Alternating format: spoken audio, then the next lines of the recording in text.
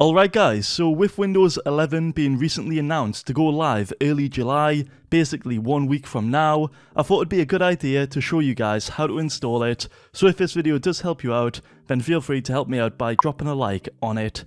Anyways, getting straight into it guys, firstly many of you will be wondering, is it free? And the answer to that is a simple yes if you do have Windows 10, which is obviously the current and previous version of Windows. Unfortunately, if you have any other operating system, like Windows 7, that is not Windows 10, guys, you will have to buy a license key. But anyway, just to make sure that you have got Windows 10, all you have to do is go onto your Windows 10 desktop like I am right here. You've got to click that icon at the bottom left corner, just a Windows one. You've got to click on that little settings cog. And then once this window does open up, all you've got to do is click on the right hand side where it says OS build and system info. And under the Windows specifications, all you have to do is check what Windows you're on, and you should be on Windows 10 in order to get it for free. Again, if you're not on Windows 10, like say you're on Windows 7, Windows XP, who knows what Windows version you're on, um, any of those, you will have to pay for it. But yeah guys, if you are Windows 10 like I am, and like many of you will be,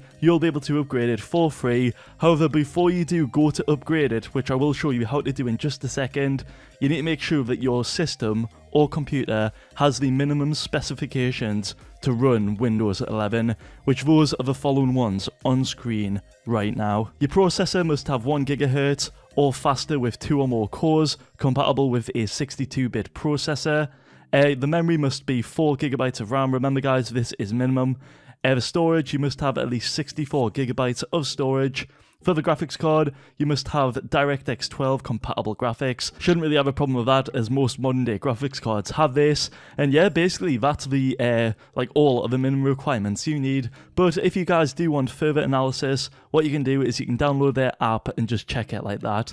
It'll run it, it'll see if you're compatible, and boom, you should be good to go to install Windows 11. And once you guys are all good to go, all you've got to do is go over to your desktop right now. You've got to click on that Windows icon again in the bottom left corner, and then all you've got to do in here is type in Windows Update.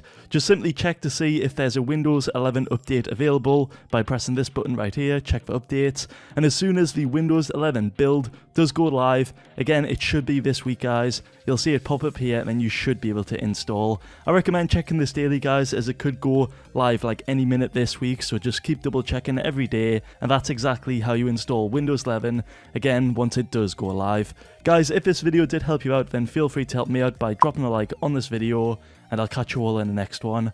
Thanks for watching, guys. Peace.